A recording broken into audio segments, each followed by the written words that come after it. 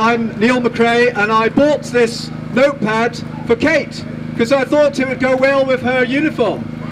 But then I thought, no, Kate's never going to take notes.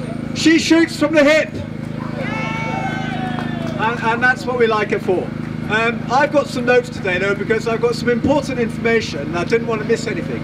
So until recently I was a mental health lecturer, but I had enough of cancel culture and decided to change career and I'm now an officer of the Workers of England Trade Union. Hooray! And I've got a soft spot for Chichester. Some of you may know Graylingwell Mental Hospital. About 10 years ago I contributed to the Community History Project, which studied the hospital from the perspective of former patients and staff. Hundreds of nurses and ancillary workers looked after the mentally ill patients, never really appreciated, working out of sight, out of mind of society. And we can say the same of the care home workforce who were targeted by the government for the first occupational mandate. I sat for 11 years on an NHS ethics committee. And I couldn't have foreseen this complete departure from established standards of regulatory safeguards, scientific logic, evidence-based practice, informed consent, and employment rights. No jab, no job is an affront to a free society. Does anyone out there support this? We are fighting back. The Workers of England is confronting managers and HR bureaucrats with the truth. They are collaborators like the professional middle class in Nazi Germany, who later claimed they were just following orders. In practical terms, how can we help? Well, as a trade union, we must work within the law. And when the government passed this abhorrent, dehumanising statute in July, it couldn't bypass the Equality Act. There must be exemptions. Vaccination, which employers present as a reasonable management instruction, is a work-related activity and therefore comes under the terms of disability protection. The employer has a duty of care to employees. If a worker has genuine health concerns about taking a serious... Uh, uh, do you want to come and say that on the microphone? You'd fit well in Nazi Germany. Just go back 70 years, you'll find yourself at home there.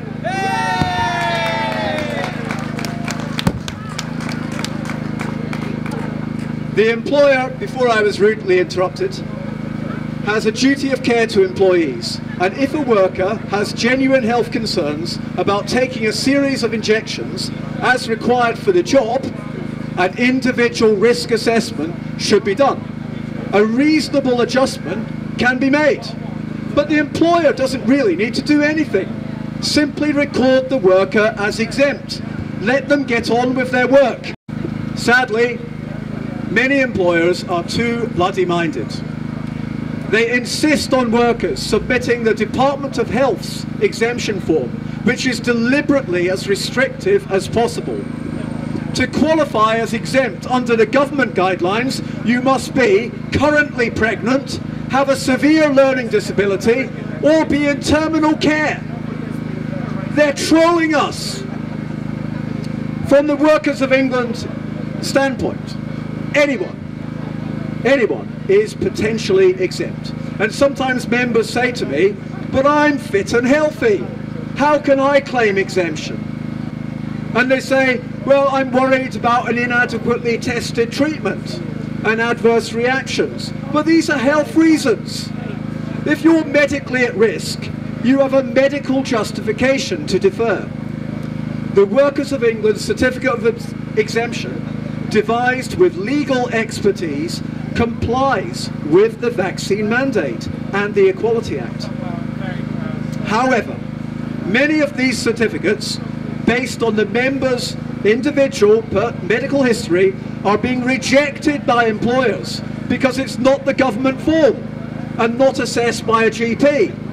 Well, we don't encourage our members to seek exemption from a doctor, not only because GPs have been told not to provide this, but also due to a conflict of interest. GPs are paid for each jab and given bonuses for reaching targets. A scandalous conflict of interest.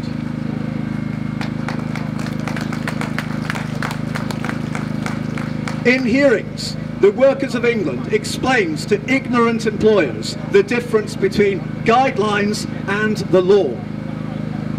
If a member has submitted a valid exemption, we tell managers, refuse this at your peril. We will take unfair dismissal cases to an employment tribunal, which is a court of law. A court will focus on the law, not guidelines, which can change at the flick of a pen in Whitehall. At a tribunal, two questions will be asked. One, did the employer submit an exemption that complies with legal requirements? Two, if so, why did the employer reject this and sack the employee? The damages from such cases, in their thousands, could be colossal. In the new year, the mandate is likely to be expanded to the NHS, and we're expecting a tsunami of new members. But meanwhile, those care home workers who relented to pressure, who got the two jabs, will find this is not enough. They will revert to unvaccinated status when the booster is enforced. The law doesn't need to change for this. It simply says the full course. That enables the third, fourth, fifth doses to be mandatory. So please, to finish off, if you know anyone whose job is at risk from this pseudo-medical fascism, get them to join the workers of England. The conventional unions are no use. Unison, for example, know that this policy is decimating care homes.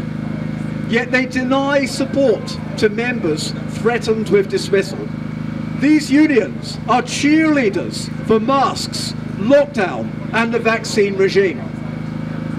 The government know that only one trade union is opposing their diabolical plans. We will continue to fight for our members and never give in to bullying tyrants. Resist, defy, do not comply. Resist, defy, do not comply. Resist. Defy. Do not comply. Thank you, everyone.